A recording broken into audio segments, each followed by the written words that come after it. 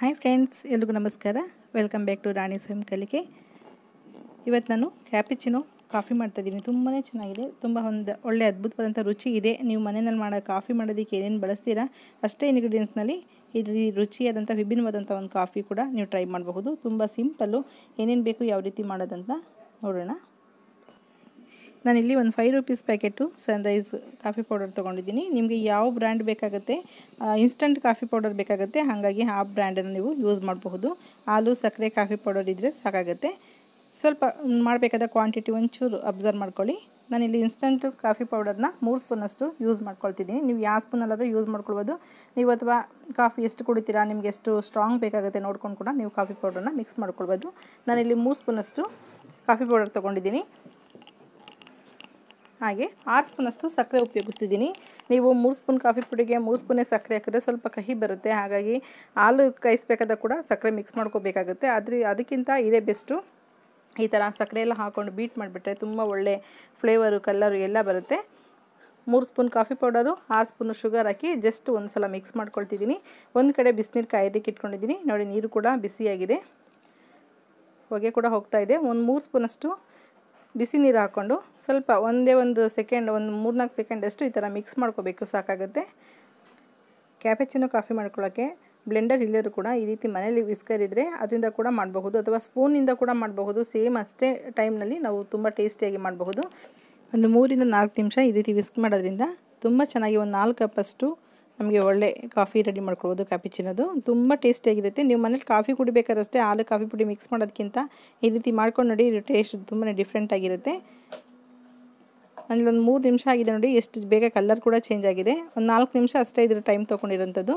ನಾಲ್ಕು ನಿಮಿಷಕ್ಕೆಲ್ಲ ಒಳ್ಳೆ ಕ್ರೀಮ್ ರೀತಿಯಲ್ಲಿ ತುಂಬ ಒಳ್ಳೆ ಹದವಾಗಿ ಬಂದಿದೆ. ತುಂಬ ಚೆನ್ನಾಗಿರುತ್ತೆ ಈ ರೀತಿ ಮಾಡೋದ್ರಿಂದ. ಕೈನಲ್ಲೇ ಮಾಡ್ಕೊಳ್ಬೋದು. ಸ್ಪೂನಲ್ಲಿ ಕೂಡ ಬೀಟ್ ಮಾಡ್ಬೋದು. ಸೇಮ್ ಹಾಕಿರೋಂಥ ಮೆಸರ್ಮೆಂಟನ್ನೇ ಸ್ಪೂನಲ್ಲಿ ಸ್ವಲ್ಪ ಉದ್ದನ ಸ್ಪೂನ್ ತೊಗೊಂಡು ಬೀಟ್ ಮಾಡೋದ್ರಿಂದ ಅದು ಕೂಡ ಒಂದು ಮೂರು ನಾಲ್ಕು ನಿಮಿಷದಲ್ಲಿ ಈ ರೀತಿ ಆಗುತ್ತೆ. ಈ ಥರ ವಿಸ್ಕರ್ ಇಲ್ಲ ಅಂದರೆ ನೀವು ಸ್ಪೂನಿಂದನೇ ಮಾಡ್ಕೊಳ್ಳಿ. ನೋಡಿ ಯಾವ ಹದದಲ್ಲಿದೆ ಅಂತ. ಇನ್ನೂ ಗಟ್ಟಿ ಕೂಡ ಮಾಡ್ಕೊಳ್ಬೋದು. ಇಷ್ಟು ಹದ ಇದ್ದರೆ ಹಾಲು ಜೊತೆ ಚೆನ್ನಾಗಿ ಮಿಕ್ಸ್ ಆಗುತ್ತೆ.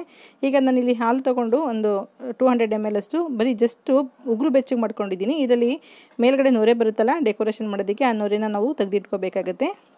ಇದನ್ನು ಕೂಡ ವಿಸ್ಕರಿಂದ ಈ ರೀತಿ ಮಾಡೋದ್ರಿಂದ ಕೂಡ ನೊರೆ ಬರುತ್ತೆ. ಅಥವಾ ನಿಮ್ಮ ಮನೇಲಿ ವಿಸ್ಕರ್ ಇಲ್ಲ ಅನ್ನೋದಾದರೆ ಹಾಲನ್ನ ಎರಡು ಗ್ಲಾಸ್ಗಳು ತೊಗೊಂಡು ಜಸ್ಟ್ ಉಗುರು ಬೆಚ್ಚಗಿರಬೇಕು, ಜಾಸ್ತಿ ಕಾಯ್ದುಬಿಟ್ರೆ ಕೆನೆ ಬಂದುಬಿಡುತ್ತೆ. ಹಾಗಾಗಿ ಎರಡೂ ಲೋಟಕ್ಕೆ ಫಾಸ್ಟಾಗಿ ಈ ಥರ ತಿರ್ಗಿಸೋದ್ರಿಂದ ಬೆಚ್ಚಗಿರುತ್ತಲ್ಲ ಹಾಲು, ಮೇಲೆ ನೊರೆ ಚೆನ್ನಾಗಿ ಬರುತ್ತೆ. ಅದನ್ನು ಕೂಡ ನೀವು ಸಪ್ರೇಟಾಗಿ ಇಟ್ಕೊಂಡಿದ್ದು, ನೀವು ಕಾಫಿ ಎಲ್ಲ ಆದಮೇಲೆ ಕೂಡ ಇದನ್ನ ಮೇಲ್ಗಡೆ ಹಾಕ್ಕೊಳ್ಬೋದು ಚೆನ್ನಾಗಿರುತ್ತೆ.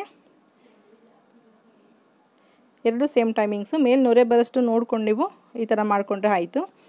ಇದು ಅಷ್ಟೇ ಒಂದು ಎರಡರಿಂದ ಮೂರು ನಿಮಿಷದೊಳಗಡೆ ನೊರೆ ತುಂಬಿಕೊಳ್ಳುತ್ತೆ. ಆ ನೊರೆನೆಲ್ಲ ಕರಗೋದಿಲ್ಲ, ಬೇಗ ಅದು ಒಂದು ಸೈಡಿಗೆ ಇಟ್ಕೊಳ್ಳೋಣ. ತುಂಬಾ ಟೇಸ್ಟಿಯಾಗಿ ಒಂಥರ ನೋಡೋದಕ್ಕೆ ಒಂದು ಲುಕ್ ಕೊಡುತ್ತೆ ಈ ಥರ ಮಾಡೋದ್ರಿಂದ. ನೋಡಿ, ಹಾಲು ಸ್ವಲ್ಪ ಇತ್ತು ಎಷ್ಟು ಬೇಗ ನೊರೆ ತುಂಬಿಕೊಂಡಿದ್ದರಿಂದ ಈಗ ಈ ಹಾಲು ತುಂಬ ಕಾಯ್ದಿಲ್ಲ ಜಸ್ಟು ಉಗುರು ಬೆಚ್ಚಗೆ ಮಾಡಿರೋಂಥ ಹಾಲಾಗಿರೋದ್ರಿಂದ ಇದನ್ನು ಮತ್ತೆ ಕಾಯಿಸ್ಕೊಳ್ಳೋಣ ನಾವು. ಈ ನೊರೆನೆಲ್ಲ ಸ್ವಲ್ಪ ಒಂದು ಸೈಡ್ಗೆ ಮಾಡಿಕೊಂಡು ಅದೇ ಹಾಲಿನ ಪಾತ್ರೆಗೆ ಬರೀ ಹಾಲು ಮಾತ್ರ ಹಾಕ್ಕೋಬೇಕಾಗತ್ತೆ. ನೀವೀಗ ಇನ್ನೂ ಜಾಸ್ತಿ ಹಾಲು ಬೇಕಾದ್ರೂ ಕೂಡ ಹಾಕ್ಕೊಂಡು ಎಷ್ಟು ಕಪ್ ಮಾಡ್ಕೊಳ್ತೀರ ಅಷ್ಟು ಕಪ್ ಹಾಲನ್ನ ಬಿಸಿ ಮಾಡ್ಕೊಳ್ಬೋದು. ನೋಡಿ, ನೋರೇನೆಲ್ಲ ಈ ಥರ ಒಂದು ಗ್ಲಾಸ್ನೆಲ್ಲ ಇಟ್ಕೊಂಡಿದ್ದೀನಿ. ಈ ಹಾಲು ಜೊತೆಗೆ ಇನ್ನು ಸ್ವಲ್ಪ ಹಾಲು ಮಿಕ್ಸ್ ಮಾಡ್ಕೊಂಡು ಕಾಯೋದಕ್ಕೆ ಇಟ್ಕೊಳ್ಳೋಣ. ಹಾಲು ಚೆನ್ನಾಗಿ ಕಾಯ್ದಿದೆ. ಕಾಯ್ದಾದಮೇಲೆ ಈ ಥರ ಕ್ಯಾಪಿಚಿನೋದು ಮಿಕ್ಸ್ ಇತ್ತಲ್ಲ, ಅದನ್ನು ಹಾಕ್ಕೊಳ್ಳೋಣ ಡಿಕಾಕ್ಷನ್ ಸ್ಟ್ರಾಂಗ್ ಬೇಕಂದರೆ ಇನ್ನೊಂದು ಸ್ವಲ್ಪ ಇನ್ನೊಂದು ಸ್ಪೂನಷ್ಟು ಕೂಡ ಹಾಕ್ಕೊಳ್ಬೋದು ನಾನು ಇದು ಸಣ್ಣ ಕಪ್ಪಾಗಿರೋದ್ರಿಂದ ಎರಡು ಸ್ಪೂನ್ ಡಿಕಾಕ್ಷನ್ ಕರೆಕ್ಟಾಗಿ ಆಗುತ್ತೆ. ಈ ಥರ ಒಂದು ಕಡೆ, ಒಂದು ಸೈಡಿಂದ ಹಾಲು ಬಿಡೋದ್ರಿಂದ ನಿಮ್ಗೆ ಏನು ಹಾಕಿರ್ತೀರಾ? ಕಾಫಿ ಡಿಕಾಕ್ಷನ್ನು ಅದು ಹಾಗೆ ಮೇಲ್ಗಡೆ ಬರುತ್ತೆ ತುಂಬಾ ಚೆನ್ನಾಗಿರುತ್ತೆ ನೋಡೋದಕ್ಕೆ. ಮೇಲ್ಗಡೆ ನೊರೆ, ಅವಾಗೆ ನೊರೆ ತೆಗೆದಿಟ್ಕೊಂಡಿದ್ವಲ್ಲ ಹಾಲಿಂದು, ಅದನ್ನು ಹಾಕ್ಕೊಳ್ಳೋಣ. ಹಾಕ್ಕೊಂಡು ನಿಮಗೆ ಯಾವ ಡೆಕೋರೇಷನ್ ಬೇಕೋ, ಏನು ಡಿಸೈನ್ ಬೇಕೋ ಮಾಡ್ಕೊಳ್ಬೋದು. ನಮಗೇನಿಲ್ಲಿ ತುಂಬ ಡಿಸೈನ್ ಮಾಡೋದಕ್ಕೆ ಬರೋದಿಲ್ಲ. ಇದು ನನ್ನ ಮಗಳು ಮಾಡ್ತಾರಂಥ ಡಿಸೈನು.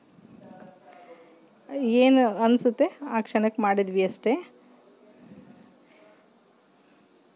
ಸೆಕೆಂಡ್ ಕಪ್ಪು ಕೂಡ ಹಾಕ್ಕೊಳ್ತಾ ಇದ್ದೀನಿ ಬಿಸಿ ಹಾಲು. ನಾನು ಕಾಫಿ ಡಿಕಾಕ್ಷನ್ಗೆ ಸ್ವಲ್ಪ ಜಾಸ್ತಿ ಶುಗರ್ ಹಾಕಿದ್ದರಿಂದ ಹಾಲಿಗೇನು ಶುಗರ್ ಮಿಕ್ಸ್ ಮಾಡಿಲ್ಲ. ಇದು ಸೆಕೆಂಡ್ ಕಪ್ಗೆ ಡೆಕೋರೇಷನ್ ಮಾಡ್ತಾ ಇರೋದು ಡಿಸೈನ್ ಮಾಡ್ತಾ ಇರೋದು.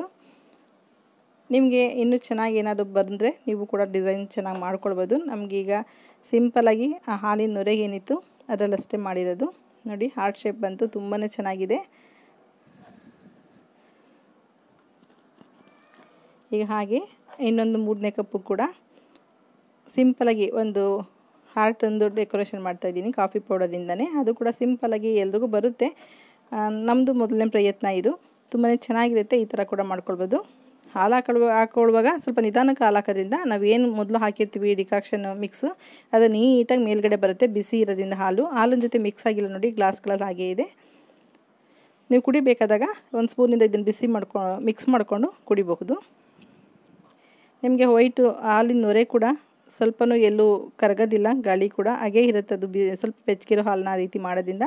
ಅದು ಕೂಡ ಒಂದು ಟಿಪ್ಸು ನಮಗೆ ಹೊರಗಡೆಯಿಂದ ಏನೂ ತಂದಿಲ್ಲ ನೋಡಿ. ಕಾಫಿ ಮಾಡೋದಕ್ಕೆ ಏನೇನು ಇಂಗ್ರೀಡಿಯೆಂಟ್ಸ್ ಬಳಸ್ತೀವಿ, ಅಷ್ಟೇ ಇಂಗ್ರೀಡಿಯೆಂಟ್ಸ್ನ ಉಪಯೋಗಿಸ್ಕೊಂಡು ಒಂದು ಡಿಫ್ರೆಂಟ್ ಆದಂಥ ಕಾಫಿ ಮಾಡ್ಕೊಂಡಿದ್ದೀವಿ ಅಷ್ಟೇ. ನೋಡೋಕ್ಕೂ ಚೆನ್ನಾಗಿರುತ್ತೆ, ಕುಡಿಯೋಕ್ಕೂ ಸ್ವಲ್ಪ ಟೇಸ್ಟ್ ಕೂಡ ಡಿಫ್ರೆಂಟಾಗಿ ಚೆನ್ನಾಗಿರುತ್ತೆ.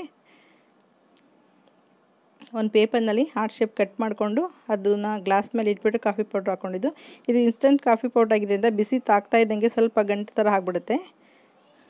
ಚೆನ್ನಾಗಿದೆಯಲ್ಲ?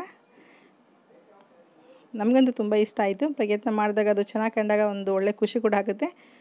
ಓಕೆ ಫ್ರೆಂಡ್ಸ್, ಈ ವಿಡಿಯೋ ನೋಡಿ ನಿಮಗೂ ಕೂಡ ಇಷ್ಟ ಆಗುತ್ತೆ ಅಂದ್ಕೊಂಡಿದ್ದೀನಿ ಇಷ್ಟ ಆದರೆ ಲೈಕ್ ಮಾಡಿ, ಶೇರ್ ಮಾಡಿ, ಸಬ್ಸ್ಕ್ರೈಬ್ ಮಾಡಿ. Okay, bye. Thank you.